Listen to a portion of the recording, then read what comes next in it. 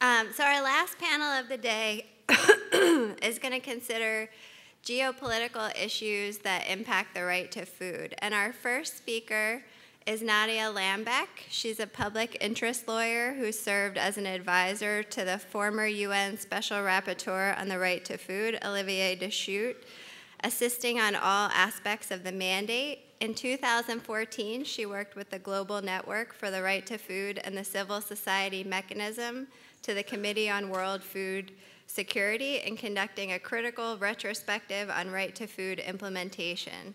For this project, she authored civil society's contribution to the 41st session of the CFS entitled 10 Years of the Right to Adequate Food Guidelines, Progress, Obstacles, and the Way Ahead. She has numerous publications on food systems, including Rethinking Food Systems, Structural Challenges, New Strategies, and the Law, and was editor in chief of the Yale Human Rights and Development Law Journal, which issued a volume dedicated to food issues in 2010.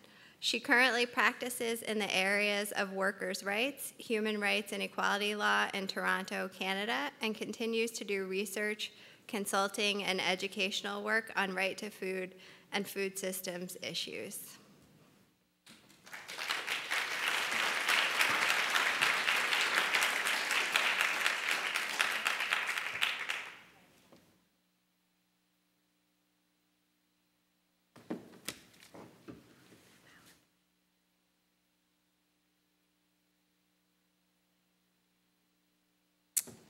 Good afternoon. It's an honor to be here and to be part of what has been a really excellent conversation so far about moving towards more just, equitable, and sustainable food systems. Today I'm going to pick up in some ways from where Smita's inspiring keynote yesterday left off and talk about national implementation of the right to food. Examining implementation provides important lessons on how to continue to understand, evolve, and grow the right to food as a normative, legal, and collective action framework. To frame my uh, remarks before I begin, I think it's helpful to remember that although the right to food is not a new right, indeed it was first included in the Universal Declaration of Human Rights in the 1940s, and later in the International Covenant on Economic, Social, Cultural Rights in the 1960s, it's really only in the last two decades that we've seen a significant increase in the visibility of the right to food and in the theoretical and normative development of the right. Today, though, there is a greater understanding of the concrete implications of the right to for food for a range of state, international, and private actors, and the importance of adopting a holistic approach to food insecurity. Yet, despite these advancements, and as I will explain in more detail, little progress has actually been made at a policy, legal, and institutional level in effectively creating an environment in which the right to food can be fully realized. Indeed, states and international institutions have been slow and more often unwilling to make concrete changes, and a whole host of challenges have made progress in implementing the right painfully slow. Today I'm going to spend some time discussing how the right to food has been implemented at a national level and touch on some of the limits to this implementation in part by referencing some of the exciting alternatives that have also been developed in the last two decades. I'll end with some reflections on the right to food, specifically as a tool for collective action and positive change. So the first step um, is how states actually adopted the right to food today? Before getting into the meat of that, I thought it would be helpful to return briefly to the state obligations that the right to food imposes as this is a helpful way to understand uh, implementation. You'll recall from earlier discussions that the right to food is not the right to be fed, but rather the right to be able to feed oneself, family, and community, adequate, nutritious, and culturally appropriate food in a manner that preserves and even celebrates human dignity. Following this, the right to food imposes basically four obligations on states. Uh, the sources for these obligations are the Universal Declaration of Human Rights and the International Covenant on Economic, Social, Cultural Rights, which have been authoritatively defined in General Comment Number 12, um, and then expanded upon in the voluntary guidelines, which outline how the right to food can be implemented nationally. And I think it's important to note that these voluntary guidelines were negotiated and drafted by all FAO member states, including the US, as well as civil society groups, and were adopted unanimously, unanimously uh, just over a decade ago. So here are the state obligations. Uh, so the first one is the obligation to fulfill the right to food. This means that states must ensure that all people have access to adequate food, and where they do not have access, the state must facilitate access or provide access. Facilitate means that the state must proactively engage in activities intended to strengthen people's access to and utilization of resources and means to ensure their livelihood, including food security. Provide means that whenever an individual or group is unable, for reasons beyond their control, to enjoy the right to adequate food by the means at their disposal, states have an obligation to fulfill or provide that right directly. Where you see quotes um, up on this graph, I'm quoting from General Comment 12. The, object, uh, um, the obligation to protect requires that states must ensure that third parties do not engage in activities and interfere with the ability of people to meet their food needs. And the obligation to respect requires that states not engage in activities that interfere with the ability of people to meet their food needs. The right to food also requires a number of process requirements, um, and this essentially is what is the, the human rights approach. And the FAO has come up with a nice way to help us remember them, which is the word panther. Um, so participation, accountability, non-discrimination, transparency, and then ensuring human dignity, empowerment, and rule of law in the development of any policies, frameworks, legislation, anything to do uh, with the right to food. So how have states implemented their obligations? The quick answer is that to date, we don't really have any examples of states taking a broad, holistic approach, integrating health, trade, agriculture, et cetera, and all four of their obligations into a coherent legal and policy framework aimed at achieving accessible, available, and adequate food for all. What we do have, however, is important first steps.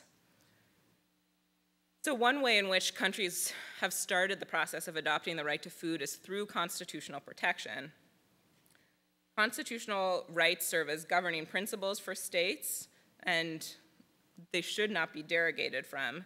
Uh, to date, over 20 countries, including South Africa, which was the first country to adopt the right to food, um, and the number, the countries, the darker shaded countries here have adopted the right to food in their constitutions. I think it's interesting to note that this is only 20 countries is far, far less um, than Anastasia commented this morning have adopted the right to clean and a healthy environment, which I think she said was about 80 or 90. The next way countries have adopted the right to food is through legislative protection, what we call framework laws in right to food lingo. Um, these framework laws provide legal protection for the right to food in a coordinated and detailed fashion, linking and building coherence between diverse areas that impact the food systems, trade, agriculture, health, fisheries, education, finance, et cetera. And Latin America is really in the lead on this front. Um, another way is national policies. Policies allow for long and short-term strategic planning, coordination of funds, benchmarking, and monitoring. Brazil is usually cited as the leading case study for national strategies aimed at ending hunger. Using largely a participatory model, Brazil has instituted over 50 initiatives uh, implemented by 11 different ministries to address food insecurity through the country. These range from cash transfer programs, school feeding programs, income generating activities, and so on. There's also sectoral laws, and I haven't elaborated that because most countries have some agri-policy law or, or something. Um, another way that courts or that countries have adopted the right to food is through judicial recognition. Courts can serve as key monitoring accountability agents of domestic laws and constitutional pr provisions, providing a venue for the review of government action or inaction by individuals or groups within the state, and a place for further defining uh, state obligations. The ongoing case of the People's Union for Civil, Civil Liberties and the Union of India and others which was initiated in 2001 in response to the government's failure to distribute employment and food relief, is perhaps the best known example and really the most expansive example of judicial interpretation of the right to food.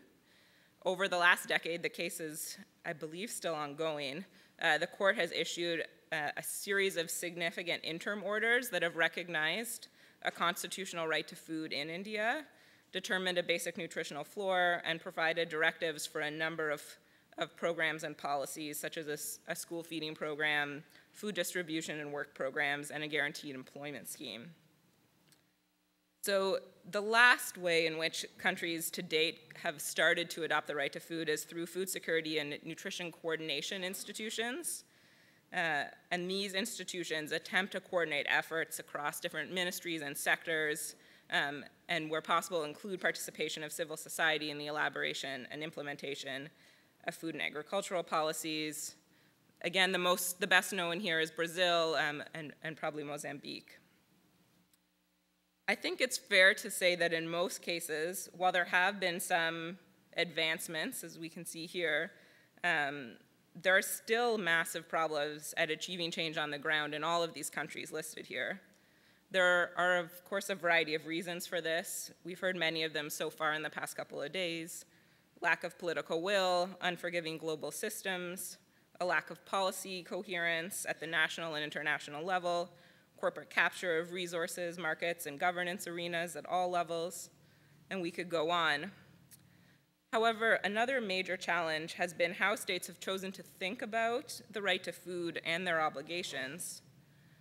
The majority of national policies and legal frameworks that have been adopted and that are, are listed here tend to focus on the state obligation to fulfill through a combination of programs aimed at both providing food directly and to a lesser extent, assisting with the means of acquiring food through, for example, extension services or guaranteed work schemes.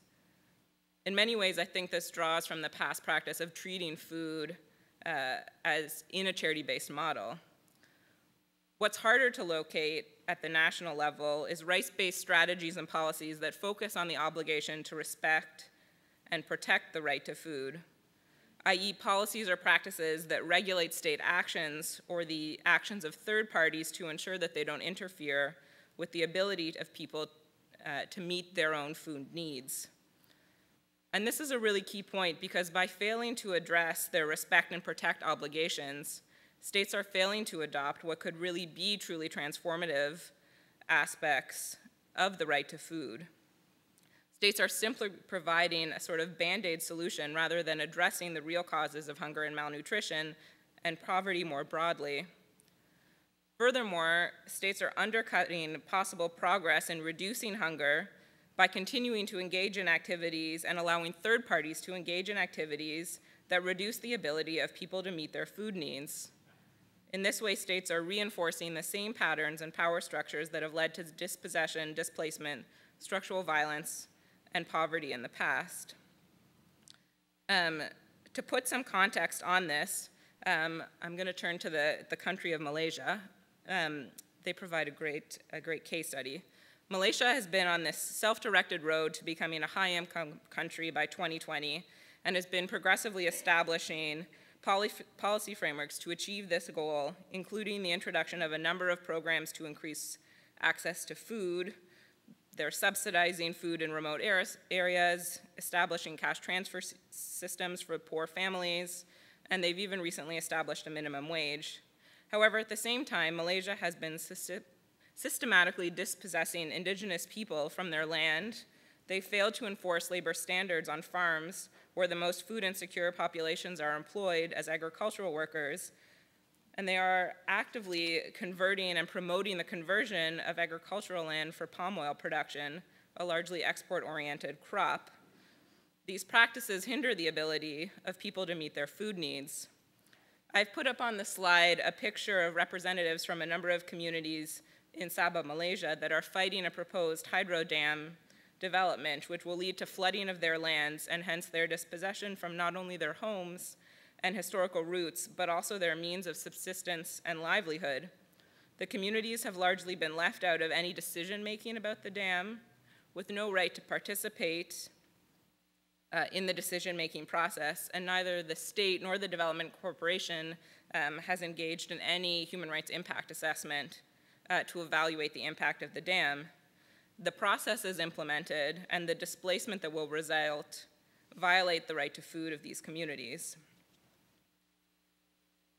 Often in response to the challenges and the limited progress achieved in advancing the right to food through implementation and the lack of government regulation of its own actions and the actions of third parties, the last two decades have seen a rise in the development and implementation of other alternative models of transforming the food system, such as local food policy councils and food sovereignty policies, both of which are deeply rooted in, the in democratic principles Food sovereignty policies and legislation have been developed in a number of local, national, and regional contexts under the impetus of agrarian movements.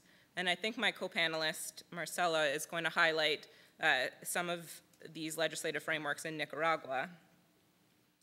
Um, and food policy councils have transformed the ways in which civil society can participate in the governance of local systems.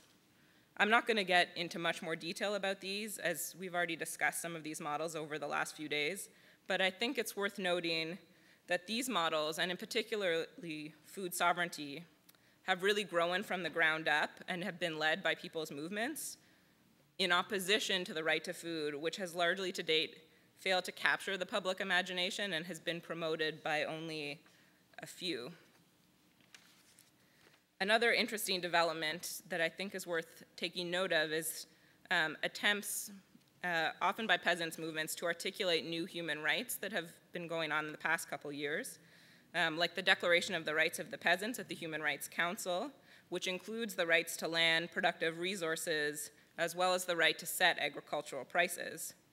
These alternatives, defended by local and transnational peasant organizations and food movements more generally, have succeeded not only in creating new narratives about the structural change needed in our food systems, but also in establishing new institutions and governing practices, and perhaps new human rights. These new models are not incompatible with the right to food. In fact, all of these models are mutually reinforcing. But because the right to food has failed to really capture public imagination, which is necessary for progressive change, these new models are exciting because in many respects they breathe new life into the right to food. These models help us understand the perceived limits of the right to food, both with respect to how the right has been implemented or not implemented to date, and within the framework itself. And I'm not going to go into it, but here are some of the challenges, both practical and within the framework itself, um, with the right to food approach. But these new models also reflect those elements of the right to food approach that resonate more widely among rights holders. They expand our understanding of the right towards a more inclusive participation of citizens and increasing democratic control in the governance of food and agriculture, and towards a transition to more localized food systems.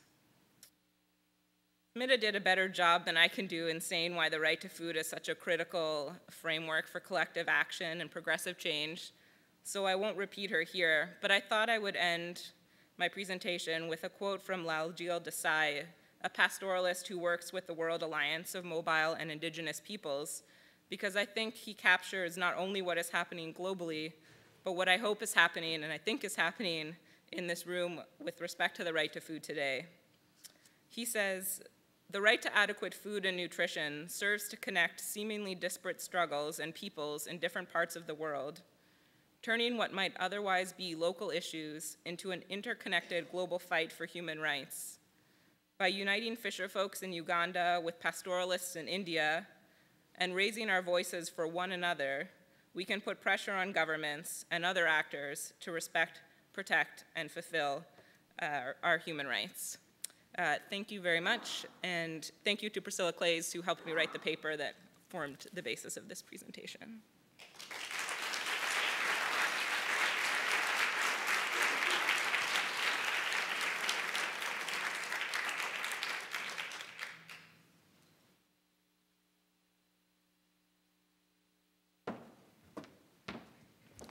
Thank you, Nadia. Our next speaker is Marcela Pino. Marcela is co-founder of Food for Farmers, a nonprofit organization dedicated to bring lasting food security to coffee growing communities. She has been working with coffee organizations for more than 10 years, exploring best methodologies to develop effective strategies to improve the well being of smallholder coffee farmers. Her goal is to create bridges between resource rich industry and vulnerable coffee producing families through participatory methodologies, identifying the causes of food insecurity, developing context based solutions, and providing necessary tools for program implementation. In 2009, she joined the Rural Livelihoods and Agroecology Group at the University of Vermont in its master's program in natural resources. Her current research centers on the effects of livelihood diversification and agrobiodiversity of coffee producers on food security. Marcela is originally from Costa Rica and has lived in Vermont since 1991.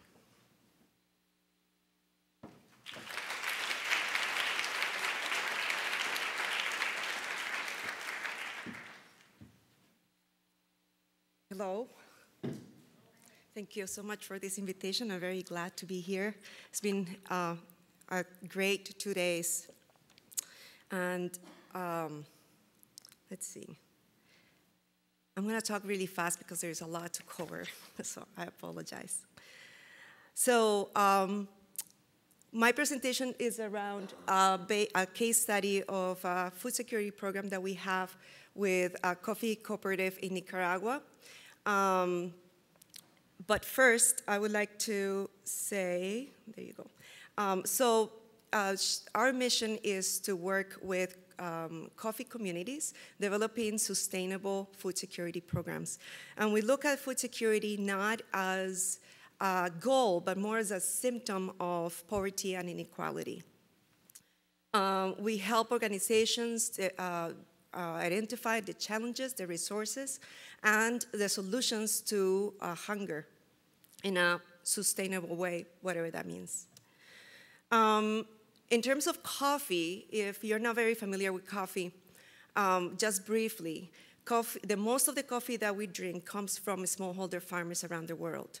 And smallholder farmers, uh, cof coffee growers, face the same challenges that other smallholder farmers around the, glo the globe face. Um, in one hand, they have an increasing demand. A lot of the times, these countries have institutions that give some support in the form of either credit or technical assistance. Um, that's kind of the best scenario. Sometimes they don't have, most of them don't have any. Um, and on the other, um, there is the risk factors. Um, at this point, climate change, I don't know if people have heard about the coffee rust epidemic that um, decimated coffee plantations in Mesoamerica, and is still, there are a lot of people that are still haven't been able to recover from that. The fluctuations, fluctuations in the coffee price that can be very unpredictable. Um, the fact that these growers are, have a seasonal economy, they get money either once or twice a year, and they have to stretch that income throughout the whole year for their whole family and their volumes are small. They have small farms, and um, the yield, even with great prices, even if they sell at fair trade prices or organic premiums, is not enough. Um, these are marginalized populations in rural areas. People don't get the services that sometimes people get in urban areas. And in developing countries, this is, um, well, there's all kinds of challenges around this. And of course, we all know the high price of food that has been uh, rising uh, for the last decade and a half at least. So Nicaragua is a small country in Central America. It has around 6 million people. And, since, uh, and until 1979, uh, it had a series of dictatorships, and that ended with the uh, success of the Sandinista revolution Yet after that, they spent at least 10 years trying to protect that revolution against the Contras. Um, so historically, Nicaragua is said to be the second poorest country in the continent, um, one of the poorest countries in the world, second after Haiti. The the um, rates of poverty, malnutrition, and foreign debt are really high in the 1990s, early 1990s. Foreign debt was 100, uh, 400%. Yet, in the last 10 years, Nicaragua has seen an improvement in the indicators in poverty and malnutrition in food security. This table, for example, shows the changes in the rates of uh, poverty and extreme poverty, which are very significant, um, especially around extreme poverty, but even you know, for poverty is, is very, very significant.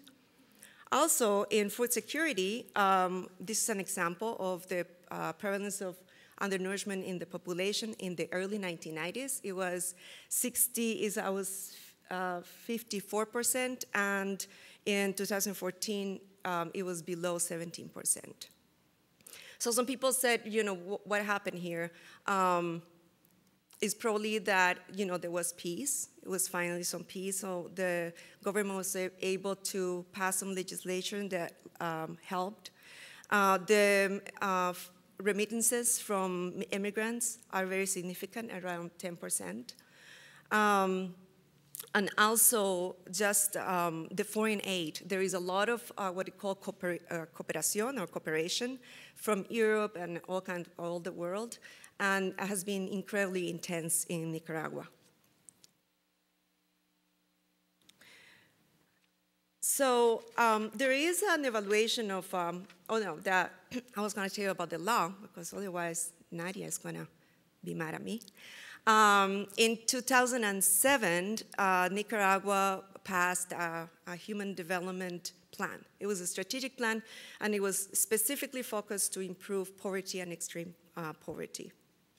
And one of the action plans was a law that was passed in 2009 called, called the Food uh, Security and Food Sovereignty Law, um, number 693. Um, and this law was not only uh, trying to uh, in, uh, help the poor and the extreme poor to overcome these challenges, but also protecting women and um, the rural areas, uh, increasing uh, investment in the rural areas. And, um, and it works uh, more as a guideline for all this cooperation that I told you about. Um, it's not so much that Nicaragua has the means to um, do a lot of governance around this law, but it does work as a guideline for organizations like ours that work with their communities.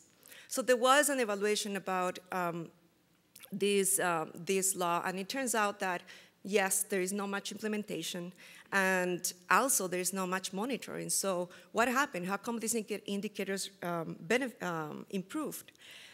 So the evaluation from Caritas um, list um, these, these factors. In one hand, the legislation uh, that ad address the uh, problems of poverty and the extreme poor, um, that the fact that the government finally is incrementing their fiscal revenue, and so it is investing in public services. The revalorization of family farming and small-scale uh, rural uh, enterprises, and um, the fact that a, lo a, lot more people can now study at all levels, including um, college levels and technical, and, uh, and the general improvement of health services. So um, although they have improved um, a lot, they still have a lot work to do, um, especially around land issues. 35% of the people who own land don't have titles to their land. A lot of them are women, of course. Um, and also um, in rural areas, 75% of the smallholder farmers own 5% of the land. So the land is still very concentrated. Uh, the problems of climate change and natural disasters that I'm not going to repeat myself because Rafaeli did a great job um, describing some of them. Human rights, the laws are targeting women, but they're targeting women more, more as a gate to families uh, and not as a right to women to be um, to have well-being. And of course, the global food systems that um, honestly wrecks everything, um, as I'm going to describe later. So we work with um, a coffee cooperative called SOPPEXCCA in Jinotega, Nicaragua, it's the northern um, mountains of Nicaragua. And we work with SOPPEXCCA because they've been um, they've been uh, committed to diversifying uh, their, their crop from coffee because of all the programs that I told you before, uh, yes, and um, also because they've been very committed to the well-being of their membership. They have around 600 members, um, groups in 15 to 12 cooperatives. So we did um, what is called the Participatory Community Diagnostic for Food Security in 2011. And some of the findings are that, yes, the population does, does not understand about the law, the food security and food uh, sovereignty law, um, that their um, food insecurity is mostly chronic seasonal hunger, which means that that causes stunting that Raj talked about. Um, and the seasonal hunger lasts around three months, three to four months, year after year, and this is be between the harvests. Also, they have a low consumptions of fruit, vegetables, and animal protein throughout the whole year. So not only chronic seasonal hunger, but also unbalanced diets. They have a low utilization of farm products um, or farm um, um, land, but there is an awareness that they do need to diversify um, from coffee in order to um, achieve food security. Um, so the program that we started in, um, this is the second year. We started in the third year. It's around um, several strategies. The first one is food security education. Um, uh, I cannot emphasize enough how important this is when you have a population that need to change their behavior about around diet and around about um, agriculture practices. Production of families' consumptions, which I'm going to talk later the production to access the market through cacao and annatto, which is a spice, and soil and water conservation, which are chronic problems and challenges. So how does the production for family consumption works? So the idea, the concept is to increase the production of beans and maize and also to, whoa, five minutes, sorry. Um, and also to um, have a distribution center. And the way it works is that um, the members of Jinotega, of, the, of this co-op, are spread throughout the whole department of Jinotega that has very different geographies and, and, growing conditions. So the concept is that the people who live in lowlands that are able to produce the food, uh, beans and maize in this case, would, would have access to a credit that they can then repay. They can grow their food, keep the food that they need to eat, repay the debt either with, with food, beans or maize, or with um, money. Then this, the cooperative will take that fund and make it a revolving fund, okay? And then the storage facility would either buy those beans and maize or buy from the market when the price of beans are low, and then keep that food for when the, the price of the um, food goes up, which is during this type of um, food insecurity, this time of food insecurity. And then during this time, the co-op would resell this um, food to the families that are not able to produce as much food. So first, um, with the results of bean production, um, in the first year, we had enough credit to uh, plant 61 acres, hectares um, that cover 72 families. Um, during this time, uh, there was the production of beans was not that significant, but it was it was around 10,000 kilograms, I think. Um, year two, we increased that to 136 hectares, um, covering 137 families, which uh, produced around 700 um, quintales. So it would be around 70,000 kilograms. So the problems that we had, challenges that we had, the bean program is going really well, the maize not so well. Uh, but I'm going to show you, this is very important. This is probably the most important part. Um, in October 2014, the price of bean was 64 cents a pound. In January, it went up to, 50, to 90 uh, cents a pound for a saving of 40% for those people that were able to grow their own beans or um, or for example, the uh, food distribution center that were able to buy beans at that time. For the maize, there is something going on uh, that we really haven't figured out what it is, but the market has been flooded with cheap maize. Um, so cheap that people are very reluctant to take a credit to um, grow their own maize. So they are growing small amounts of maize, and uh, the, high, the cost production is just even with the market, so it really doesn't make sense. So the co-op is not letting go of this, though. They have seen this before. It's just, you know, it's, it's what's going on right now, but they've been there for a long time and they're going nowhere, so they are going to keep at it uh, because they understand that this is a very important um, a very important um, strategy. So this is an interview with Rito Guadalupe Picado. This is actually not his uh, wife, but it's um, we did this through interviews. And he was talking about the advantages of the program. In one hand, the credit is low. He can repay with cash or crop. Um, the, he produced 1,500 pounds of uh, beans, and he kept 1,200 pounds of beans sold the rest 3000 for um, $156, which doesn't seem much here, but it's significant, I tell you, in rural Nicaragua. And then, most of all, he saved $326 that, um, that he didn't, didn't need to buy the beans when he needed. The disadvantages of the program is that sometimes we get hit with cheap food, um, and it doesn't really work that well.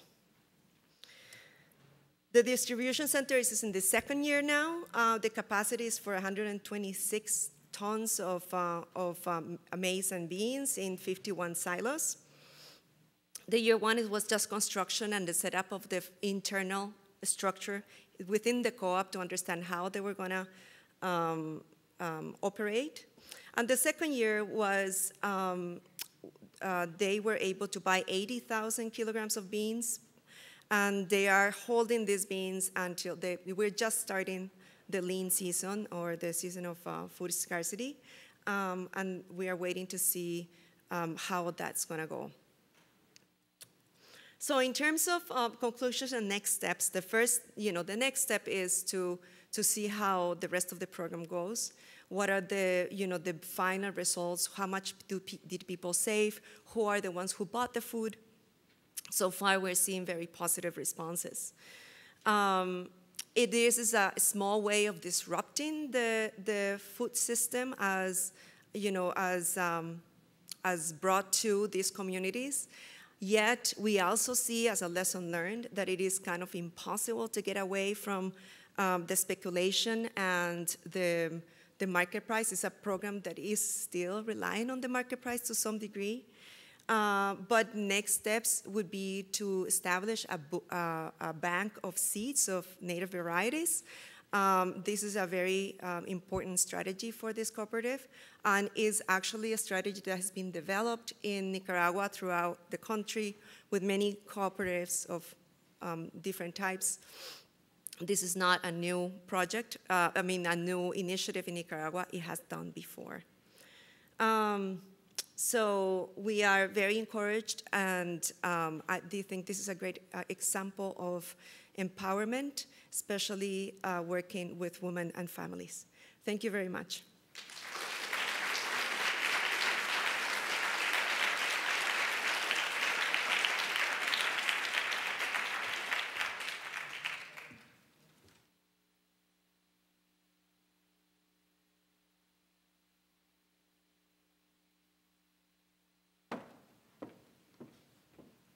Marcela. Our final speaker is Ani Bellows. Ani is a professor and graduate program director of food studies in the Department of Public Health, Food Studies, and Nutrition at Syracuse University, where she began in 2013 after chairing the Department of Gender and Nutrition, Faculty of Agriculture at the University of Hohenheim, is that right? In Germany, since 2007. Her work focuses on food and nutrition systems and economies generally, and specifically on curricular development, research, and collaborative advocacy to support the growing field of human rights and the right to adequate food and nutrition. She's a co editor and co author of the 2015 forthcoming Civil Society Academic Collaborative Book Project, published by Routledge entitled Gender Nutrition and the Right to Adequate Food Towards an Inclusive Framework.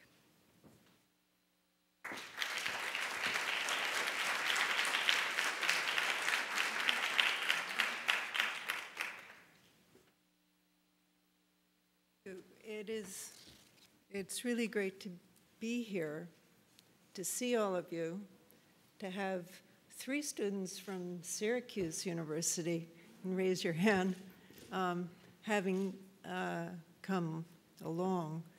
Being the last speaker, um, there has been so much that uh, everyone before me has said that's been so valuable for setting the stage, and it's helped me think about my work, realize how much I have to learn, and I'm very grateful for the conference organizers and for the speakers who've come before me.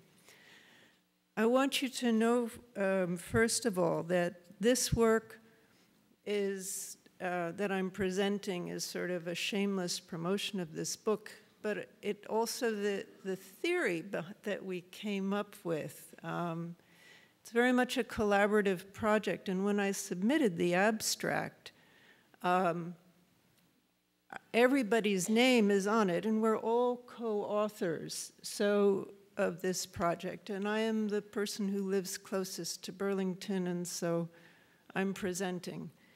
Um, but uh, the, um, the project is very much a collaboration between, uh, it's an academic CSO, civil society collaboration, started out between uh, the group I worked with, um, the Gender Nutrition Department at uh, Hohenheim University, and FIAN International, um, uh, a right to food human rights organization.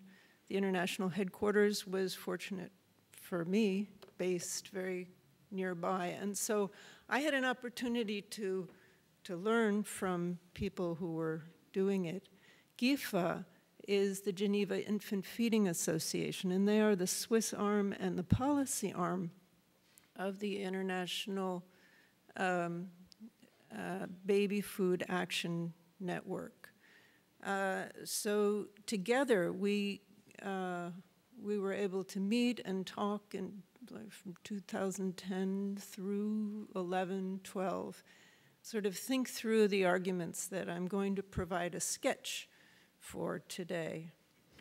Um, the question that we ask that basically frames um, our work is when so many call for the inclusion of women and a gender perspective in food security, why is the status of women and girls not improving? Um, it's not obviously all women who are, are food insecure. Um, but if you look at that typology of food insecurity and hunger, many people have, eh, have already said the most food insecure are the small scale food producers in rural areas. After them, the rural working non food producers. After them, the urban poor. But across that typology, um, women uh, are at a greater risk of food insecurity. In the States, women earn 70% still, something like that, of what men earn. It's, it's a condition that is, doesn't say all women and girls are, food, are more food insecure. It is a, it's a sort of a macro approach. And uh, part of what we're looking at is um, if there's all this effort to say, well, let's address, you know, the gender question. Um, part of the issue is to is how do you draw women and girls into uh, the to participate more in work around food security, around the right to food. So why why isn't it working? So. Um, there. Uh, so I have three parts. I'm going to talk about two structural disconnects, five points to address those disconnects, and then next steps. Um, the first disconnect um, is this idea of a separation, is institutional separation of, of human rights, where the human right to adequate food and nutrition is separated institutionally and structurally from, for example, the Women's Rights Convention, um, Convention on the Elimination of All Forms of Discrimination Against Women, and the Children's Rights Convention. Um, and there, there is not, so you have people working in silos and not necessarily building programs that really holistically work um, to address the legal obligations, institutional organization, programmatic delivery, and research agendas associated with looking at gender and nutrition in the context of a right to adequate food. The second disconnect has to do with um, a separation instead of an integration of food and nutrition. Now, I'm going to talk sort of more on an international level now. We've been talking about it here both at the national and international level and the local level. Um, but the uh, right to food work is actually housed in the Food and Agriculture Organization, and it's very much production oriented. So um, it's the, the predominant uh, approach is um, problem with food, you produce more food. The policy is you promote an agro food commodity sector. Um, and the result is there is this bypassing of local cultural people and food sovereignty. And that bypassing at the local community level also ignores and patronizes women's participation, their autonomy. Um, and similarly, when you look at nutrition, um, nutrition is coming up as something that is based, and institutionally, the, the address of nutrition is based more in UNICEF and in the World Health Organization, not to mention different institutions in different cities. Um, and the answer there is to medicalize nutrition. Um, Raj had mentioned nutritionism. The idea is that you um, address malnutrition with fortification, vitamin supplementation, instead of thinking about building nutrition into more localized, more locally self determined and controlled food systems. So you end up, the policy then ends up promoting a pharmaceutical sector. It ignores again local culture and sovereignty and again patronizes women's participation and autonomy in a structure that should be bringing them together. Another piece of this, though I won't go into it now, is that if you look at the way nutrition is um, talked about in uh, these international um, instruments, it is, it is based separate from the right to, to food. It becomes something associated with children's right to nutrition, and nutrition being specifically associated with maternity and early childhood nutrition. Um, complicating factors in terms of thinking of a holistic approach. So now we're going to go to addressing these disconnects. And um, there are, uh, I have the five points. The first is to look at this structural separation and legal isolation of those human rights. And um, at a very practical, seems like a large step, but a, but a very necessary and practical step is to think about coordinating food and nutrition objectives inside these, um, the working groups, um, the committees on economic, social, cultural rights, children's rights, women's rights. Um, in the heart of that, it has to look at issues like not stereotyping uh, women as mothers and wives. Um, it needs to address the inconsistent attention to nutrition. If you look at who, who's addressed in the context of nutrition it eliminates all adult men and all adult women who are not pregnant or, or breastfeeding. Um, so, uh, and then there's this need to maintain a human rights framework, um, an objective of holding governments accountable, something that is not, uh, hasn't, wasn't really, was definitely not part of um, the uh, MDGs. And it's a very big question about whether it'll be incorporated in the Sustainable Development Goals post 215. Second point. So again, the question, why with all the attention on women, why is their condition not improving? So we as a group very strongly believe that there is, uh, that, that um, violence against women, thank you, is an underexamined barrier to women's right to adequate food and their participation as autonomous and participatory members of efforts to address hunger and nutrition. This is a very, very critical um, thing to address. It is connected to structural violence, um, and that is a condition of discrimination.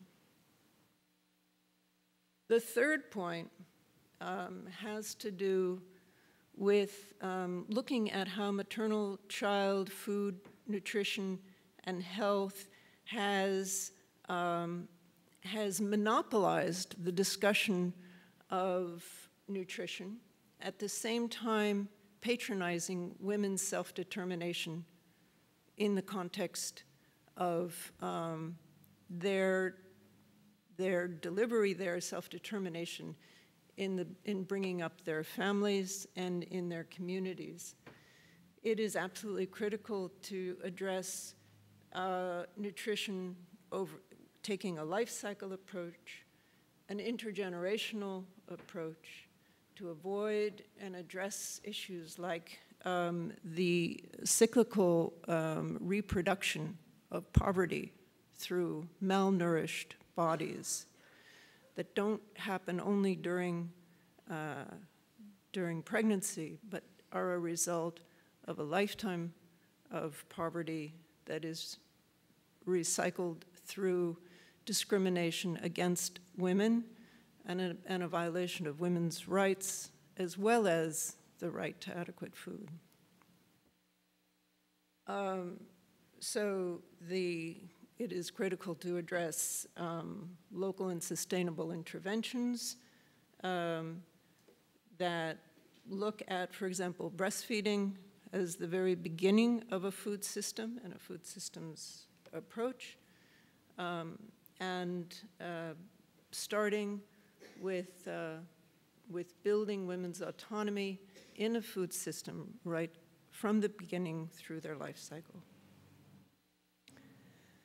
Um, the fourth uh, area is food systems, gender, and participation. So um, this is looking at more localized, sustainable, smaller scale food nutrition systems, democratizing food governance, many things we've talked about already, supporting local knowledge, addressing men and masculinity in the food system, and mainstreaming women in all of the above, recognizing the challenges they face, particularly violence, structural violence. So, the fifth point um, is associated with applying the human rights perspectives and tools um, when trying to work with uh, this phenomenon of um, women's uh, unequal access to uh, right to food nutrition.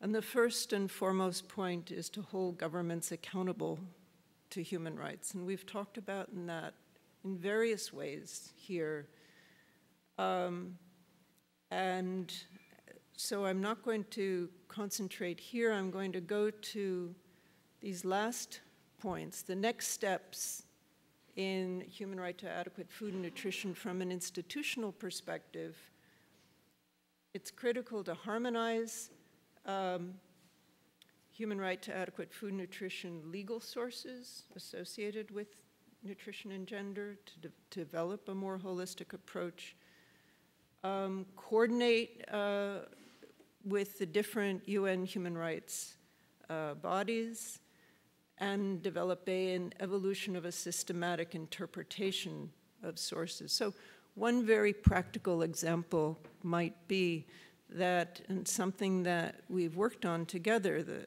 the, the three of us, or three groups working on this, is to um, work with the Committee on um, the Elimination of All Forms of Discrimination Against Women, so the Women's Rights Committee, to try to push forward a general recommendation on the right to food. Because right now, inside the Women's Rights Convention, they work, they address maternal nutrition and, uh, and rural women's access to the productive necessities of agriculture. They don't address women's right to adequate food and nutrition. So that would be a very practical step to take to harmonize um, the, the, the, the, instruments.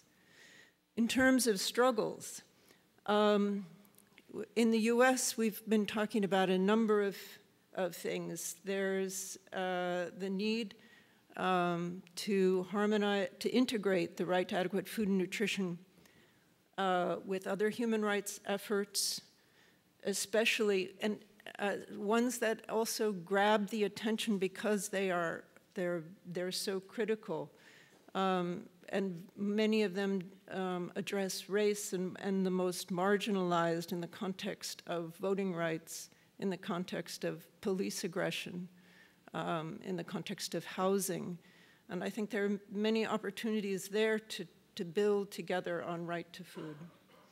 A national food plan um, ratification of some of these international conventions. I think we need to redefine this private sector. I think there's a real need to do that right now. If you look at the um, World, uh, the, the um, Committee on uh, World Food Security, we have this great civil society mechanism. All these different players get in there and have the opportunity. Private sector has their own sector. You know, it's all these huge, humongous corporate sectors that Bill Gates was organizing it. What happened to farmers being part of the private sector? They are entrepreneurs. I think, I think we need to think about um, what the private sector is and take it back in some respects, democratize it. Um, another thing is we need to work on recourse mechanisms. Um, a human rights violation of rights holders leaves them ready to hold their duty bearers accountable. They need recourse mechanisms and not just judicial ones to make that happen. We need to understand and think about what that could be. It could be, um, it could be parent-teacher councils. It could be um, social movements. It could, there are a lot of things in there. We just are beginning to think about what they could be.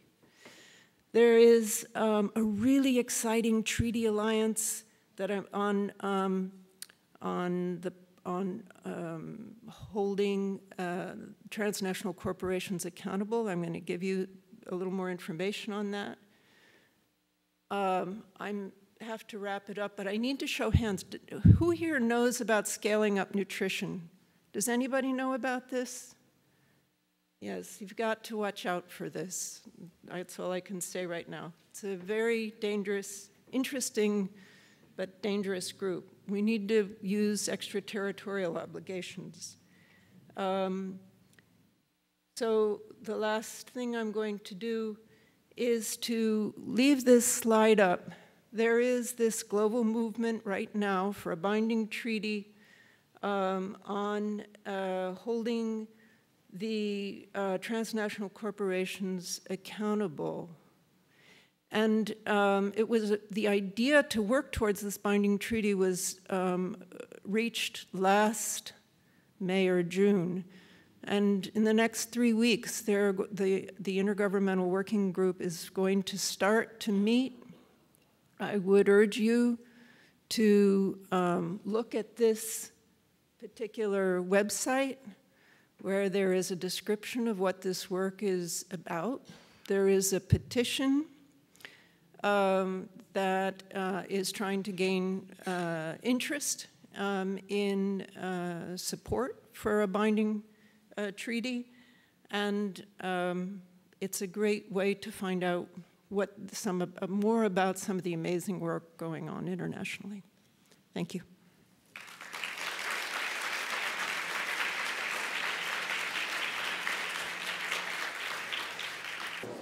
Right, so our first question um, is for all the panelists. How do you hold countries accountable for human rights violations when our own government, I'm assuming that means the United States, when it's politically convenient, looks the other way?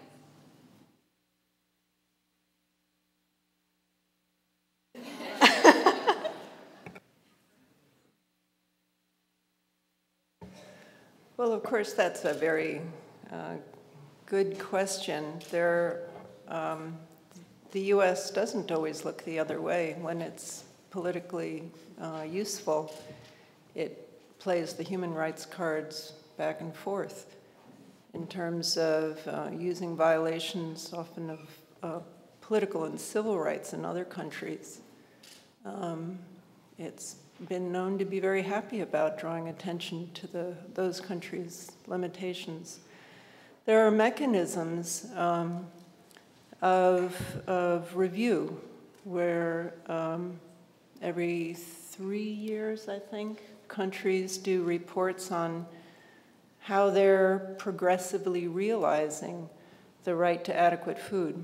And um, so this, this is just this is just one way, so we can answer it in others.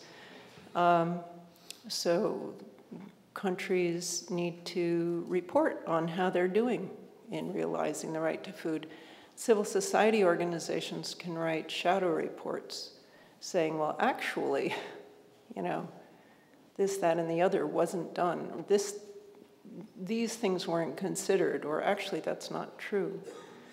And then the means, um, the means at the UN level uh, tend to be um, sort of shaming and um, and, uh, and and applauding. So the, the the means are not very powerful. They're very diplomatic, but it's just one level. Other levels um, are more through direct public action. Um, and it's hard because there, there isn't much precedent.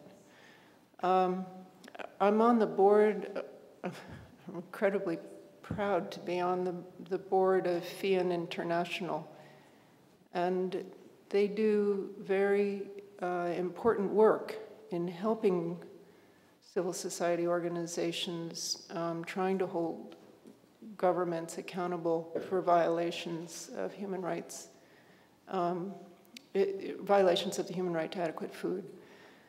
And I put a bunch of literature from the organization out on one of the tables. You can find out more um, at fian.org.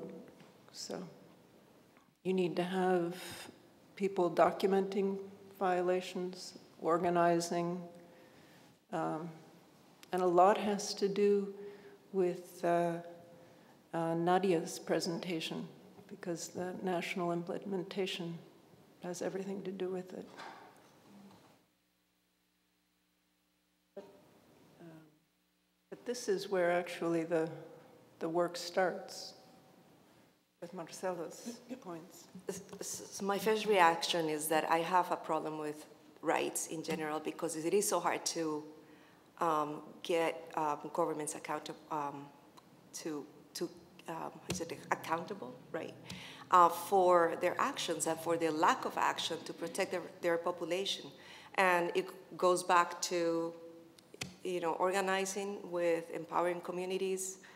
Um, I was just telling Nadia that it's very encouraging to come to um, um, to come here because you learn about all these small efforts that are going on around the globe.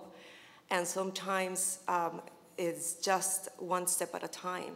And you know, you can infiltrate a government or can, you know, lobby in the way, you know, in whatever effort. We all have a place in this game, and we all have to play it, and we all have to go out and put our, you know, our heart out, um, and and do it one step at a time. It's a good and very hard question to answer. Um, I'm going to start with one answer that's not really a holistic approach at all, but I think it's a mechanism that's not well known about and not used very often. But each of the special rapporteurs to the Human Rights Council, of which I think there's over 30 now, have this ability to write to governments when they're informed about violations and lay out in a rights-based approach what they've heard has happened and how that violates specific obligations of the states. And these letters, they're called allegation letters, then are made public after a certain period of time whether or not the government's responded. And the government's response is also made public. And this is one mechanism, it's not that useful, but it's, it's one way to sort of publicly shame countries um, who don't follow through on their human rights obligations and these get reported um, annually uh, at the Human Rights Council. But I, I think more broadly, the answer is sort of what everybody's been talking about over the past couple of days, which is collective action and demanding from not only our government, but um, other institutions to, to support and promote and protect human rights, both domestically and abroad. Um, Annie had this up on her presentation, and we haven't really talked about it that much, but this idea of extraterritorial obligations that the US government has obligations to protect and promote and fulfill the right to food um, of citizens abroad where American actors are, are going abroad and engaging in activities in other countries like mining industry or even in American trade policies that they need to be considering how um, their actions affect people abroad. So I don't, I don't know if that answers the question, but it's another mechanism and means out there. I have a quick follow-up to that question, actually. I don't know if that's allowed from the moderator, but um, Nadia, is the U.S. actually fulfilling those extraterritorial obligations that you just mentioned? No. I don't. I mean, the sort of elaboration of ETOs, as they're called, is a relatively new phenomenon and idea. If you're interested in learning more about that, there's something called the Maastricht Principles, which are were elaborated by a number of human rights experts. I don't know, maybe five years ago, that that really detail um, states' extraterritorial economic, social, cultural rights. If you're interested in more information. Great, thank you. Um, the next question is for Marcela, but I think this also builds on Ani's talk a bit. Um, so thinking about the Malawi example that Raj shared in his presentation, how involved are men in your work in Nicaragua and what percentage of women are co-op members? And I guess to follow up and sort of tie in some of what Ani talked about, if the percentage is low, what what sort of mechanisms that Ani talked about um, have you considered in those communities or um, are you considering in those communities? So specific to Nicaragua is, um, you know, it's a very special place in a way because there was a socialist revolution that um, has worked on women's rights. Um, so more than other countries. I wouldn't say that is, you know, that but, so, you know, we actually have projects in um, Guatemala and Mexico, and we started in Colombia. And I have to say that women in Nicaragua are much more empowered than those countries. Um, yet, when Raj was presenting that case, I was thinking, no way, that would never happen. Um, but of course, it happens because there was a, a great a network, a community network. There was a, a leader. Leadership is the key, I have to say. Um, and so there was a leader that it was very effective, uh, very compassionate, that has the uh, trust of the, of the community. and, and there was follow-up. You know, there is, we have all these programs that come with great solutions and, um, you know, great ideas, but there is no follow-up. There is no transfer of knowledge to the community. So, um, you know, education, we are working on education. The percentage in this co-op of women is low, It's not that low in comparison with other coffee cooperatives, but it's still, I think it's under 30%. Um, and, and there is a lot of machismo, uh, of course. But um, there is, the, the general manager of this co-op is a woman and she has been working very hard on, on these issues. So I think that I have seen a change in the last 10 years because actually I've been working with this community for the last 10 years, not exactly on food security. And I have seen a change in uh, women's empowerment. But I am eager to keep going. Thank you. Um, Nadia, this is a, a practical question. So can you give an example of a recent case or enforcement action that highlights how communities have enforced their rights to food in ways that involve the law specifically? Sure. Um, so I spoke about the India case. I'll speak about a case uh, in Uganda that actually FIAN um, has worked on for many years. There was a community of subsistence farmers in Uganda who uh, were evicted when a coffee, quite brutally, when a coffee company called Kaweri Coffee, which is a subsidiary of Nestle, came into the community um, and really brutally evicted them from the farms that they used for subsistence agriculture. And the government turned a blind eye to this. And one of the many ways in which they fought back against this was to bring a court case uh, in Uganda um, to to challenge that the government had violated its obligation to respect and protect their right to food uh, by failing to stop this eviction. And the case spent a very long time uh, running through the Ugandan courts. And Uganda doesn't have a right to food in its constitution, but it does have um, the right to food as sort of an objective principle to work towards and they were successful in this challenge um, and received compensation from the state by way of this court case. Great, thank you. Um, this question's for Ani. Ani, you raised the concept of not compartmentalizing the right to food from other basic human rights. Is there leadership or a movement internationally to accomplish this? Well, I would say, I would say that there are um, number of, of movements. I'll, I want to mention one.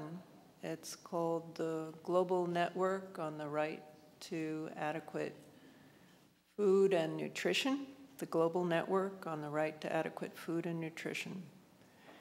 And um, it is a network of uh, very diverse groups. Nadia quoted um, Lalji, who is uh, with the pastoralists, so it has tried to include, you know, it's not just small scale farmers, it's pastoralists, it's food providers, it's, um, it's people who um, live from uh, forest uh, resources.